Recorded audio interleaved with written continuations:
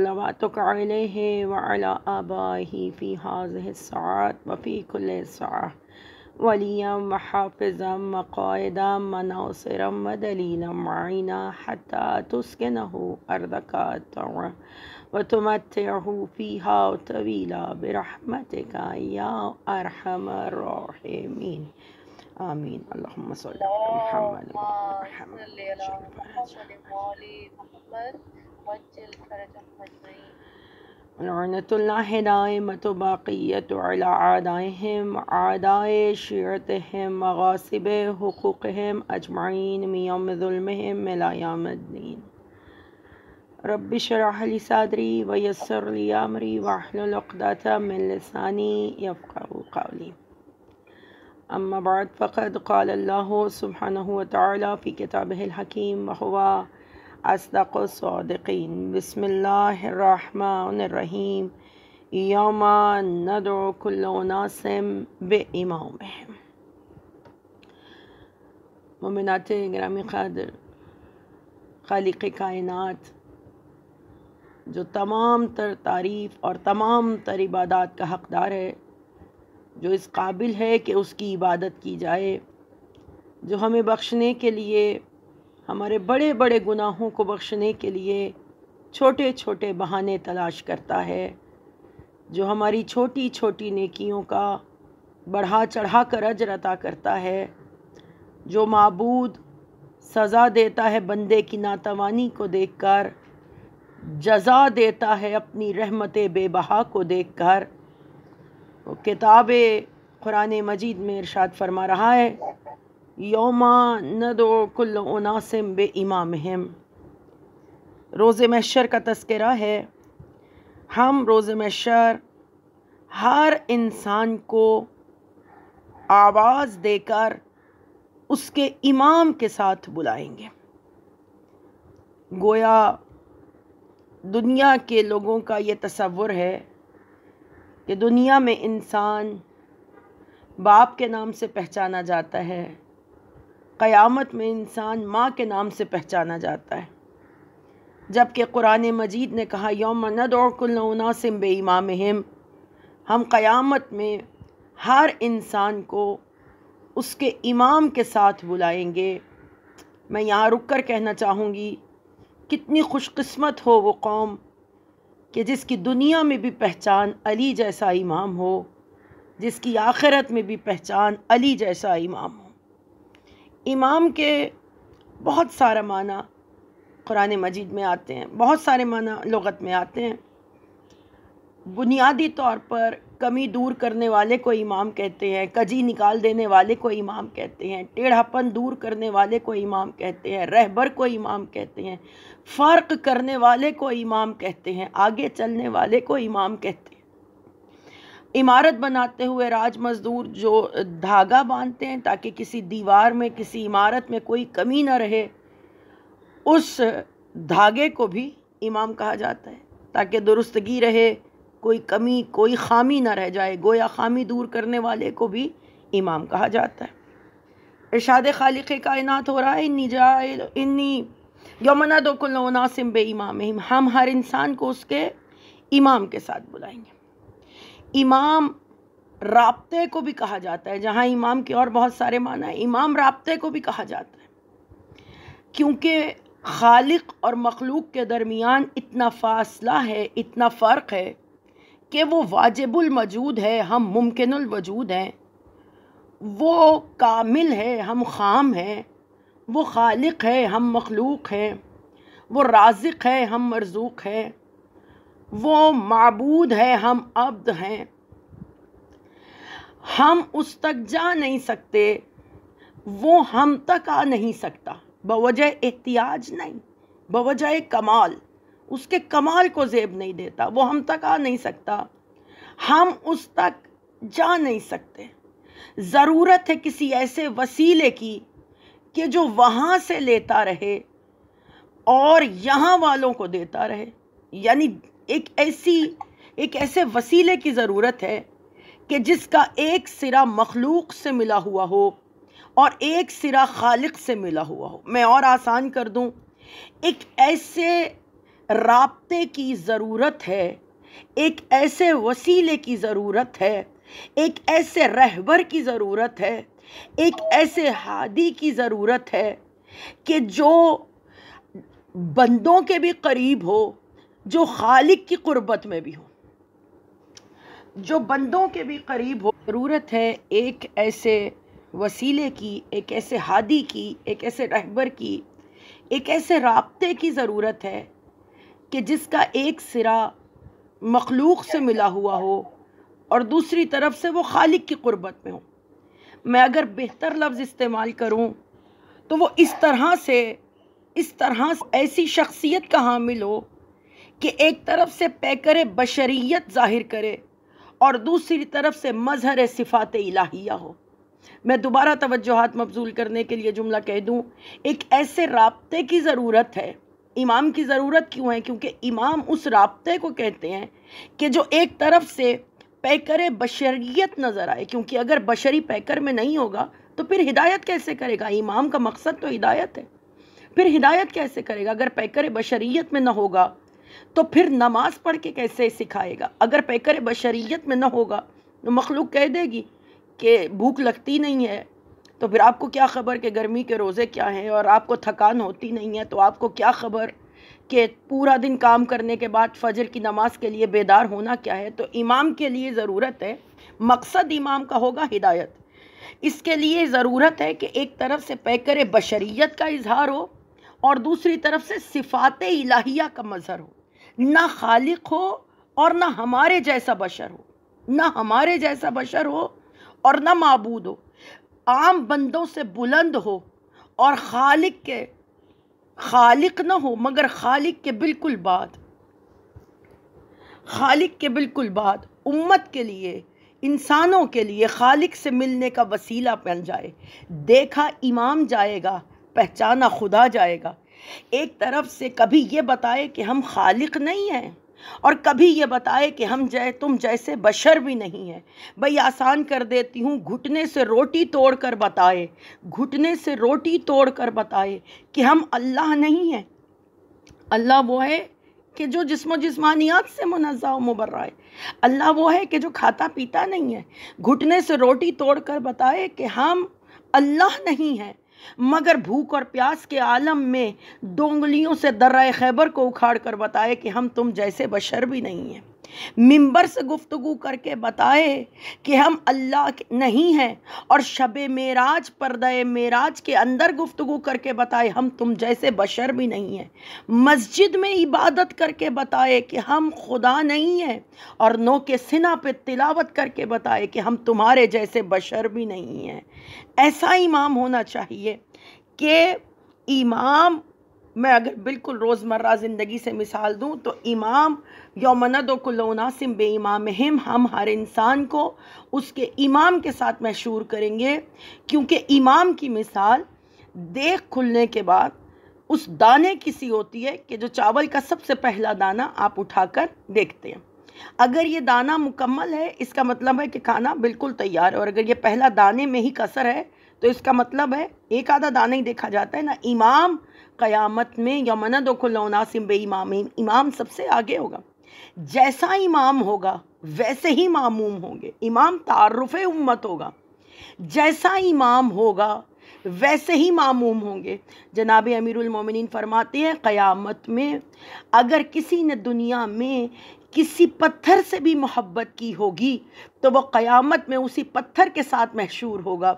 मैं ज़रूर और ज़रूर कहना चाहूँगी कि अगर किसी ने दुनिया में पत्थर से मोहब्बत की होगी तो वह क़यामत में पत्थर के साथ मशहूर होगा, और अगर किसी ने दुनिया में हैदर से मोहब्बत की होगी तो यकीनन वो क़यामत में जनाब हैदर करार के साथ खुदा करे खुदा करे और खुदा करे कि वो मशहूर हो। इमाम का इंतखब, क्योंकि इमाम का मकसद है हिदायत। इमाम के लिए शर्त है इसमत। अगर मासूम न हो तो फिर औरों की हिदायत क्या करेगा? जब तक खुद मासूम न हो, मासूम अनिल ख़ता न हो, उस वक्त तक औरों की हिदायत इमाम क्या करेगा? इसलिए इमाम के लिए वाजिब है कि इमाम मासूम हो। इमाम का मकसद होगा हिदायत। इमाम का मकसद होगा हिदायत। इमाम की मंशा होगी हिदायत। इमाम अल्लाह बनने नहीं आएँगे। इमाम इसलिए मबूस नहीं होंगे कि वो अल्लाह बने। इमाम इसलिए मबूस होंगे कि वो अल्लाह बताने के लिए आएँगे। देखे इमाम जाएँगे, पहचाना मबूद जाएगा। देखे इमाम जाएँगे, पहचाना मबूद जाएगा। अब इमाम बंदों जैसा नहीं होगा। बिल्कुल आसान कर दूँ, मस्जिद के भी अगर इमाम है, जो इमाम जमात होते हैं, जब इमाम जमात हो तो इमाम जमात जिस वक्त सफ़े दुरुस्त होती हैं, आप में से बहुत सारी खारान को नमाज़ बा जमात का मौका मिला होगा तो जिस वक्त सफ़े दुरुस्त होती हैं और जमात नमाज़ के लिए बहुजूर परवरदिगार खड़ी होती है तो ये अगर कोई साहबी कहें कि मेरे पास दौलत बहुत है और मैं इमाम के साथ या इमाम के आगे खड़ा हो जाऊँ, या कोई साहब ये कहें कि मेरी उम्र बहुत ज़्यादा है, मैं इमाम के साथ खड़ा हो जाऊँ, या कोई ये कहे कि मैं बुज़ुर्ग बहुत हूँ, मैं इमाम के साथ खड़ा हो जाऊँ, इमाम उम्र में छोटे हैं, इमाम दौलत में कम है तो जवाबन सबको ये कहा जाएगा कि आप चाहे अमीर हैं, आप चाहे सिन रसीदा हैं, लेकिन बहर सूरत नमाज़ में आगे इमाम ही रहेंगे। नमाज़ में, नमाज़ जमात की बात हो रही है, नमाज़ में आगे इमाम ही रहेंगे। अब ये तय हो गया कि आगे वाले को, जो दो कदम आगे हो, नमाज़ जमात में, पेशे जमात क्यों कहा जा रहा है? क्योंकि दो कदम आगे है ना। इमाम किसे कहा जाएगा? जो दो कदम आगे होंगे। भाई देखिए, दो कदम जो आगे निकल जाए, दो कदम जो आगे खड़े हों, दो कदम जो आगे बढ़े हों हरान उन्हीं को तो इमाम कहा जाएगा, जो दो कदम आगे हों। चाहे मस्जिद हो, क्योंकि मस्जिद है नमाज़ की जगह, और नमाज़ है मोमिन की मेराज। बड़ा ही अच्छा जुमला आपकी आला समातों की नज़र कर दूँ कि नमाज़ है मोमिन की मेराज। और नमाज़ में आगे होंगे दो कदम इमाम जमात। आवाज़ अजब नहीं कि आवाज़ आ जाए। अरे जब मेराज मोमिन की हो या मोहम्मद की इमाम हमेशा दो कदम आगे ही रहे हैं। सुबह अल्लाह मेराज मोमिन की हो। यारी यारी जजाकल्ला नमाज़ मोमिन की हो या मोहम्मद सल्लल्लाहु अलैहि वसल्लम। इमाम हमेशा दो कदम आगे रहेंगे। दुनिया में अब बतदरीज इमामत के दर्जे को बुलंद करते हैं। सबसे पहले हमने इमाम जमात को देखा। अब इमाम जमात के बाद अल्लाह ने जिसे सबसे पहले और फिर मैं यहाँ पे ये भी अर्ज़ कर दूँ कि हमारे यहाँ बारह इमाम हैं और मैं किसी की दिल आज़ारी नहीं करना चाहती, लेकिन हमारे जो बिरादरान हैं, उनके यहाँ चार इमाम हैं। हम बड़े फ़ख्र से कहते हैं, हमारे यहाँ इमाम बारह हैं, लेकिन हमारे यहाँ फ़िका एक है। वहाँ इमाम चार हैं, नमाज़ के तरीक़े भी चार ही हैं। रसूल खुदा ने फरमाया है कि मेरे दुनिया से जाने के बाद ये मुतफ़ अल हदीस है कि हमारे दुनिया से जाने के बाद हमारे बारह जानशीन होंगे। लेकिन वहाँ अगर पूछा जाए तो बारह जानशीन कौन से हैं? अभी तक मुतफ़ ही नहीं है कि बारह हैं कौन से। अलामा मजलिसी से जब कहा गया कि आप सरकारी मज़हब कबूल कर लें जो कि गैर तशैय था उस ज़माने में तो कहा जनाब मैं सर, सरकारी मज़हब तस्लीम नहीं करूँगा क्योंकि मेरा दीन दीन हक्का है। तो कहा आपके पास दलील क्या है कि आपका दीन दीन हक है? कहने लगे कि आप अपने मकतब के कुछ बुज़ुर्गों को बुला लीजिए अकाबरीन को बुला लीजिए और मेरे मज़हब के चंद ऐसे बच्चे कि जिन्हें सिर्फ़ लिखना और बोलना आता, उन्हें बुला लीजिए। जब आमने सामने दोनों गिरोह बैठ गए तो अकाबरीन से पूछा गया कि रसूल खुदा की हदीस है कि मेरे बाद मेरे बारह जानशीन होंगे जो हिदायत करेंगे? कहा, जी, बिल्कुल है। हमारी कुतुब में महफूज है। का ज़रा मैं कलम और कागज़ देता हूँ, आप बारह जानशीनों के नाम लिखिए। पहले तो बारह जानशीन पे ही इत्तेफाक नहीं हुआ। फिर जब लिखने शुरू किए तो किसी के चार और थे, किसी के तीन और थे, किसी से बारह पूरे ही ना हो सके। और इन बारह में भी किसी ने यजीद को शामिल किया, किसी ने यजीद के वालिद को शामिल किया, किसी ने मरवान को शामिल किया। बड़े बड़े अजीब गरीब नाम मिले पढ़ने के लिए और बारह के बारह नाम मुख्तलिफ़ और मुकम्मल बारह हो भी ना सके। और जब इधर शिया बच्चों की तरफ़ रुख किया गया और शिया बच्चों की तरफ़ रुख करके जैसे ही पूछा, बच्चों, बताओ, इमाम कितने हैं? सारे बच्चों ने यक ज़ुबान होकर कहा कि इमाम बारह हैं। कहा कि अब जल्दी जल्दी इन आइम्मा के नाम लिखो। बच्चों ने लम्हे ना लगाए और इन आइम्मा के नाम लिखे।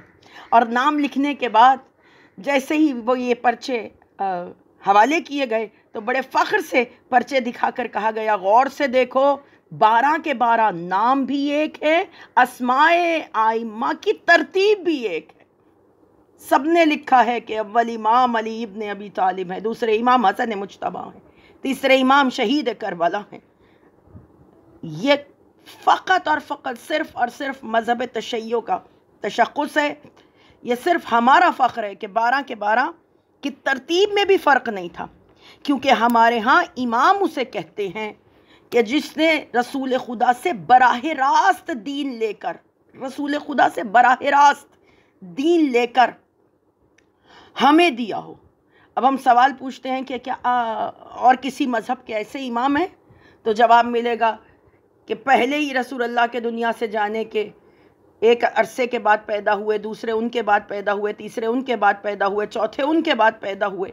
मेरा मकसद किसी की दिल आज़ारी नहीं है। मेरे लिए सारे जो मकातब फ़िक्र हैं, वो काबिल एहतराम है। मगर मैं अपने मज़हब का ये मैार औज कह दूँ या अपने मज़हब का फ़ख्र कह दूँ, बयान करते हुए मुझे नाज है अपने मज़हब पर।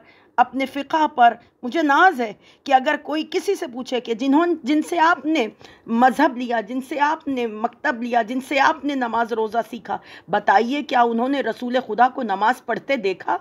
तो कहेंगे, नहीं, वो तो सब रसूल अल्लाह के दुनिया से जाने के काफ़ी अरसे के बाद पैदा हुए। और अगर हमसे पूछा जाए कि क्या आपने जिनसे मज़हब लिया, क्या उन आइम्मा ने, जिन्हें आप आइम्मा कहते हैं, क्या उन्होंने रसूल को नमाज़ पढ़ते देखा, रोज़ा रखते देखा, हज करता देखा, ज़क़़त देता देखा? तो हम फ़ख्र से कहेंगे कि जैसा हमारे आइम्मा ने देखा, वैसे तो किसी ने देखा ही नहीं। हमारे आइम्मा में वो हैं कि जो हमारा पहला इमाम है, उसने रसूल अल्लाह के बिल्कुल पीछे नमाज़ पढ़ के रसूल को नमाज़ नमाज़ पढ़ते देखा। हमारे दूसरे इमाम ने रसूल के पहलू में बैठकर रसूल की नमाज़ को देखा और हमारे तीसरे इमाम ने रसूल की पुश्त पे बैठ कर रसूल की नमाज़ को देखा। यमनदोकुल्लासिम बे इमाम इमाम का इंतखब बहुत सोच समझ के किया जाएगा। इसलिए क्योंकि जो हाल इमाम का होगा, वही हाल मामूम का होगा। जैसे कि जनाब मूसा पार गए तो जनाब मूसा के साथ जनाब मूसा के पीछे बारह कबीले और सारे पार चले गए। और फ़िरौन डूबा तो फ़िरौन के जितने हवारी थे, जितने साथी थे, जितने फ़िरौन के पीछे आने वाले थे, वो सारे डूब गए। गोया अगर इमाम डूबेगा तो मामूम भी फना हो जाएगा। और अगर इमाम पार जाएगा तो एक इमाम जनाब मूसा एक रहबर थे। बारह कबीलों को बनी इसराइल के पार ले गए। हैरान कितना लुत्फ आएगा कि वहाँ कबीला एक था। वहाँ इमाम हादी रहबर रहनुमा एक थे, जनाब मूसा सलाम। और कबीले बारह थे। हम खुश नसीब हैं, हमारा कबीला एक है, हमारा इमाम बारह हैं, हमारे हादी बारह हैं। और फिर इमाम के लिए अब कुरान से पूछते हैं। कुरान से पूछते हैं कि कुरान हमारी रहनुमाई कर और हमें बता कि आखिर इमाम, हम अक्ल की कसौटी पर परखना चाहते हैं। कि आखिर इमाम किसे माना जाए? इमाम किसे माना जाए? किसे इमाम बनाया जाए? तो कुरान पुकार के कहेगा, इन्नी जायलकलन्ना से इमामा। हमने ज़मीन पर पहली इमामत हज़रत इब्राहीम अलैहिस्सलाम को अता करी। और बड़े कर्रफर के साथ अल्लाह ने कुरान में फरमाया, इन्नी जायलकलन्ना से इमामा। इब्राहीम, हमने तुम्हें इंसानों पर इमामत अता करी। अगर ये इमामत जहन नशीन हो जाए तो फिर इन अबुल आइम्मा को समझना आसान हो जाएगा। जनाब इब्राहीम पहले इमाम, इंसानों पर जिन्हें इमामत अता की गई। जनाब इब्राहीम का कमाल ये है, जनाब इब्राहीम इंसानों के इमाम हैं। यानी जहाँ पर बनी नो इंसान हैं जहाँ जहाँ बनी नो इंसान हैं वहाँ तक जनाब इब्राहीम अलैहिस्सलाम की इमामत का दायरा है। जहाँ जहाँ इंसान है, वहाँ वहाँ जनाब इब्राहिम की इमामत का दायरा है। और जहाँ इंसान ख़त्म होंगे, वहीं इमामत का दायरा भी रुक जाएगा। यानी अगर इंसान सिर्फ़ ज़मीन पर हैं तो जनाब इब्राहिम की इमामत भी सिर्फ़ ज़मीन पर है। जनाब इब्राहिम अलैहिस्सलाम क्योंकि इंसानों के इमाम है ना तो जहाँ तक इंसानियत, वहीं तक दायरा है, इमामत जनाब इब्राहिम अलैहिस्सलाम इंसान तहतुसरा में नहीं बसते, इंसान अरश ओला में नहीं बसते। गोया जनाब इब्राहीम अलैहिस्सलाम को अल्लाह ने ज़मीन वालों का खलीफा बनाया, ज़मीन के ऊपर बसने वालों का खलीफा बनाया। जैसे जनाब आदम के लिए कहा था कि ए आदम, हमने तुम्हें ज़मीन का खलीफा बनाया, वैसे ही ज़मीन पे बसने वाले इंसानों का इमाम। एक को खिलाफत अर्जी अता करी, एक को इमामत अर्जी अता करी। मगर क्या कहिए कि जिस पे, जिसे अबुलाइम अमीरमिन कायद गुर्रमहजलिन जनाब अबू तुराब अली इब्न अबी तालिब कहा गया, उन्हें सिर्फ़ इंसानों की इमामत नहीं अता की गई, अली को अर्श फर्श की इमामत अता की गई। आप पूछिए कि क्या दलील है कि अली अर्श वालों के भी इमाम हैं और अली फर्श के अंदर के भी इमाम हैं? तो मैं कहूँगी कि दलील यह है कि अर्श के अंदर अली की शाही है, आसमानों के ऊपर अली की शाही है। ये बताने के लिए अली मेराज पर आसमान के अंदर गए और ज़मीनों के अंदर अली की हुकूमत है। ये बताने अली कब्र के अंदर आ जाते हैं।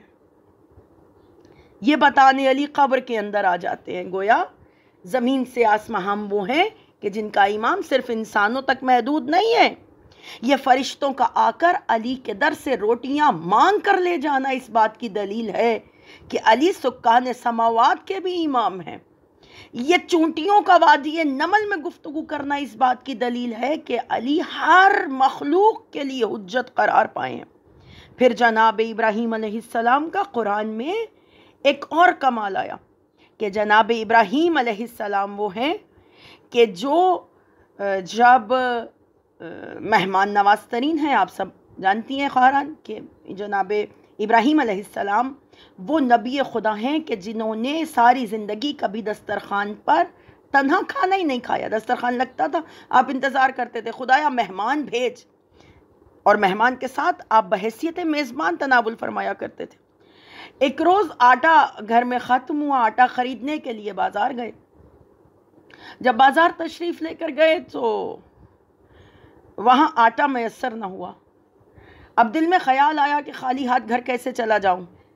रिवायात कहती हैं कि थैले के अंदर बजाय आटे के थोड़ी सी रेत डाल दी और थोड़ी सी रेत डालकर आप घर तशरीफ़ ले आए। जैसे ही जनाब इब्राहिम घर आए ना तो घर आकर घर वालों ने फ़ौरन सवाल किया कि आटा ले आए तो आपने थैला जोजा के हवाले कर दिया। अब जो देखा तो बाज़ार गए थे आटा लेने, आटा मैसर न था, मुहैया न था तो आपने रेत को थैले में डाला। घर आके जो देखा तो थी रेत। मगर जिसे अल्लाह ने खिला, जिसे अल्लाह ने इमामत अर्जी अता की हो, जिसे अल्लाह ने खलील कहा हो, जिसे अल्लाह ने इंसानों का इमाम कहा हो जनाब इब्राहिम के हाथों से मस होने की देर थी। थी रेत, बन गई आटा। गोया इमाम की एक शान ये भी है। इमाम की एक शान अल्लाह ने ये भी बताई कि इमाम उसे कहते हैं कि जिसके हाथों से कुछ मस होकर कुछ और हो जाए। इमाम उसे कहते हैं कि जिसके हाथों से कुछ मस होकर, अब अगर ये कुछ समझ आ गया तो सब कुछ ही समझ आ गया। जिसके हाथों से कुछ मस होकर कुछ और हो जाए। जजाकल्ला इमाम उसे कहते हैं कि जिसके हाथों से कुछ मस होकर कुछ और हो जाए, यानी हो कुछ और, माहियत कुछ और हो, फितरतन कुछ और हो, लेकिन इमाम के मस करने की देर हो, अब वो कुछ और हो जाए। मैं तमाम अरबाब फ़िक्र को, दावत फ़िक्र दे के कहती हूँ बहसीत तालब इल्म कि मेरी मुश्किल आसान कीजिए, अगर आपके पास कोई ऐसा है कि जिसके हाथों से मस होने से पहले कुछ और हो, और हाथों से मस होने के बाद कुछ और हो जाए तो आप बताइए, वरना हमारे पास तो बहमदुल्ला बारह ऐसे हैं, हमारा पहला वो है कि जो मुर्दे को ठोकर मारे तो वो ज़िंदा हो जाए, हमारा दूसरा वो है कि जो सीखा बदल दे तो मर्द औरत हो जाए। हमारा तीसरा वो है कि जो खाक को छू दे तो खाक खा के शिफा हो जाए, और हमारा चौथा वो है कि जो हाथ धो दे तो हाथ जवाहरात हो जाए। हमारे तो बारह के बारह अल्लाह ने ऐसे अता किए हैं कि हो कुछ और हो जाए कुछ और। फिर अल्लाह ने एक और शान कुरान मजीद में जनाब इब्राहिम की बयान की। कहा, इमाम है, काबा बना दिया, आवाज़ दी, हज के लिए आवाज़ दी और इस आवाज़ को उन्होंने सुना जो सुलभ पिदर में है। उन्होंने सुना जो शिकम मादर में है। गोया जब इमाम पुकारता है तो वो भी सुनते हैं जो शिकम मादर में हो और वो भी सुनते हैं जो सुलभ पिदर में हो। लोग कहते हैं कि आप अली का नाम सुनकर इतने खुश क्यों होते हैं? इसलिए क्योंकि हमने आलम अरवाह में मौलाए कायनात की आवाज़, निदाए, विलायत को सुना हुआ है। हमने उस पर लब्बैक कहा हुआ है। आप पूछिए कि दलील क्या है? ये अली का नाम सुनकर दिल को सुकून मिलना इस बात की दलील है। आलम अरवाह में इकरार करके आए हैं। अजीज़ान ग्रामी खादर देखिए, जनाब इब्राहिम की आवाज़ को ज़माने ने सुना। तो जनाब अली की आवाज़ को ज़माना क्यों ना सुने? भाई, दोनों में इतना सही तो फ़र्क है। जनाब इब्राहिम और जनाब अमीरमिन में क्या फ़र्क है? वो भी इमाम, वो भी इमाम। वो इंसानों के इमाम वो आलमीन के इमाम। आवाज़ वो हबीब है वो महबूब है। एक खलील है एक महबूब है। का जनाब अमीरमिन और जनाब इब्राहिम में क्या फ़र्क है? तो बिल्कुल आसान कर दूँ मुझे तो ज़ाहिरन एक फ़र्क ये नज़र आ रहा है कि एक काबा बनाने वाला इमाम है दूसरा काबा बसाने वाला इमाम है। या सलामत रहिए एक वो एक वो इमाम है कि जिसने काबा बनाया है, दूसरा वो इमाम है कि जिसने काबा बचाया है। अब मैं बिल्कुल अपने मकसद पे आ गई, देखिए बिलाशुबा इसमें कोई दूसरी राय नहीं है कि इमाम तो खुदा ने बेमिसल अता की है। इमाम तो खुदा ने ऐसे अता की है कि अगर पेशानियाँ ज़मीन के साथ पेवस्त हो जाएँ, तब भी हम इजहार तशक्र अदा नहीं कर सकते। शुक्र अदा हो ही नहीं सकता।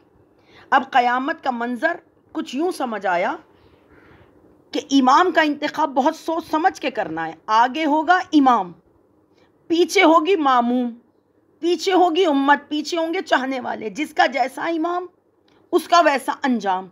देखा इमाम जाएगा, पहचानी उम्मत जाएगी। अब जो पीछे चलते हैं, आगे चलने वाले को तो इमाम कहते हैं, इस पर तो आपने बहुत बहस सुन ली।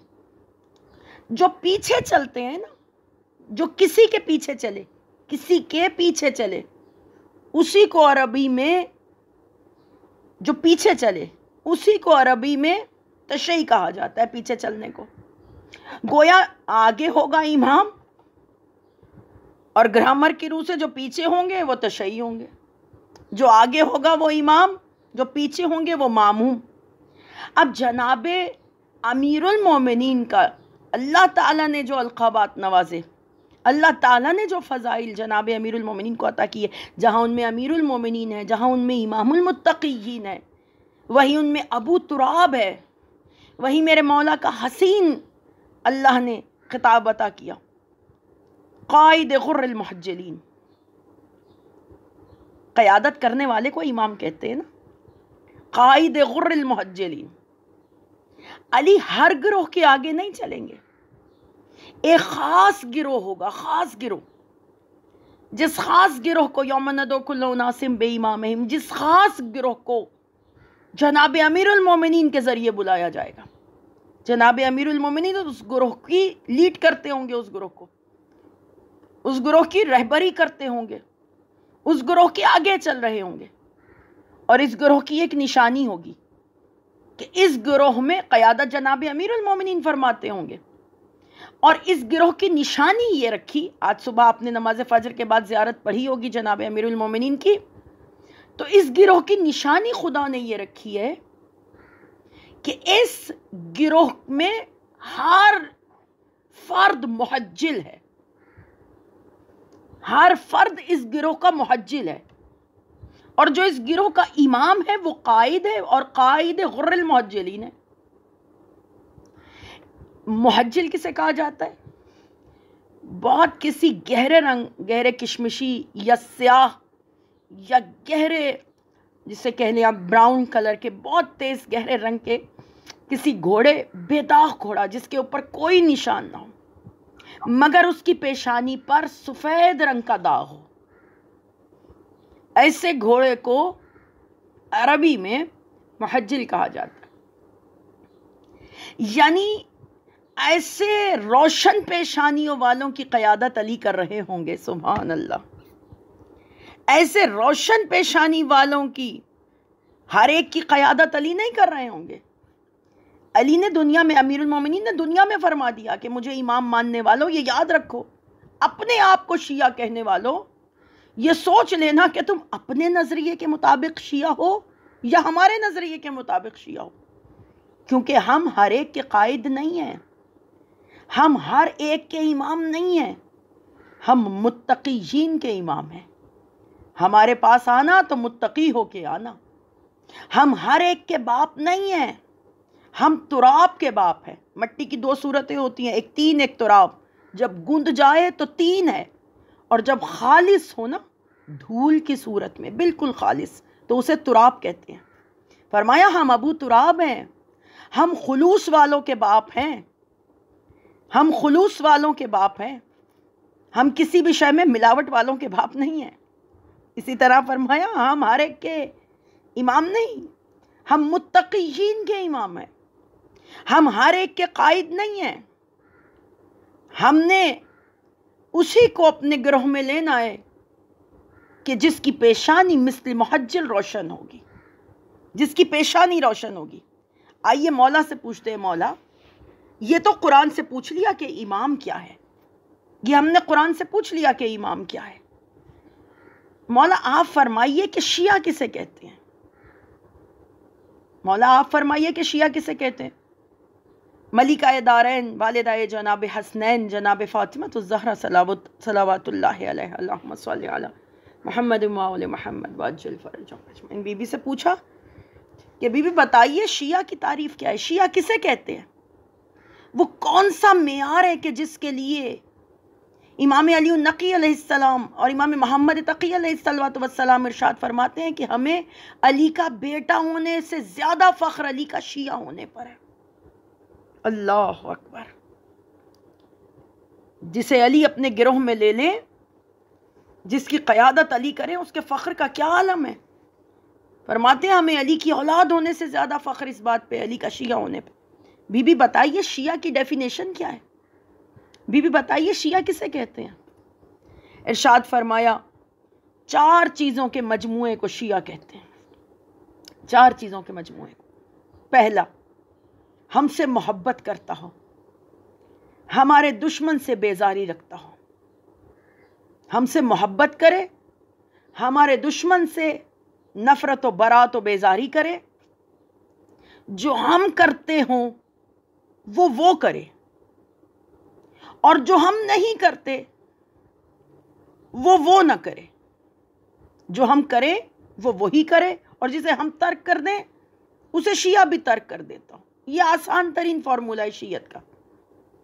सवाल पूछने वाले ने पूछा, दस्त बस्तार्स की बीबी अगर कोई ऐसा हो कि जो इनमें से दो काम करता हो, मगर दो काम ना करता हो। यानी आपसे मोहब्बत, आपके खान खानवादे से अकीदत, और आपके दुश्मनों से बेजारी तो करता हो। लेकिन शहजादी जो आप करती हूँ, वो वो ना करता हो। अब मैं बिल फ़र्ज़ कह रही हूँ, बिल फ़र्ज़। बीबी, आप रातों को कयाम करती हैं।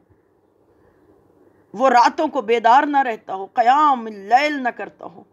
आप पर्दा करती हैं, वो पर्दा ना करता हो। आप कसब हलाल की ताकीद करती हैं, वो कसब हलाल ना करता हो माजल्ला और जो आप नहीं करती, वो वो करता हो। आप गीबत नहीं करती, वो गीबत करता हो। आप गना और हिजान को पसंद नहीं करती, वो इनमें मुबतला रहता हो। शहजादी आप बेपर्दगी नहीं करती, मगर वो बेपर्दगी करता हो माजल्ला बीबी, फिर उसके बारे में क्या ख्याल है? इरशाद फरमाया, देखिए, इमाम मैंने अर्ज़ किया आपने अब बारह के बारह आइमा को जिस मर्ज़ी कसौटी पर रख कर देख लीजिए, आपको हर रुख से या मोहम्मद नज़र आएँगे या कुरान नज़र आएँगे। अब जब पूछा कि, बीबी, आप बताइए?